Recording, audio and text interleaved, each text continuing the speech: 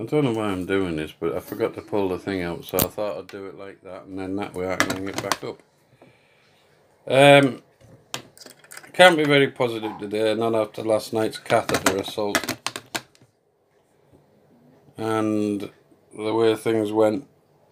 And I think it's left me with a bit of an infection, but they changed me catheter last night and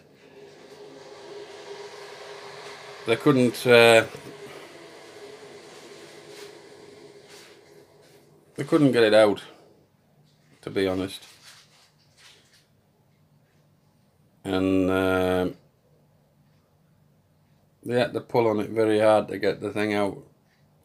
After they deflated the balloon. And it hurt a lot and I tell you. It was absolutely screaming the pain was terrible. The pain was bad before but when they took it out it was even worse. But anyway it's done now and the new one's in and it seems to be flowing alright today so we'll see how it goes. Anyway see you all later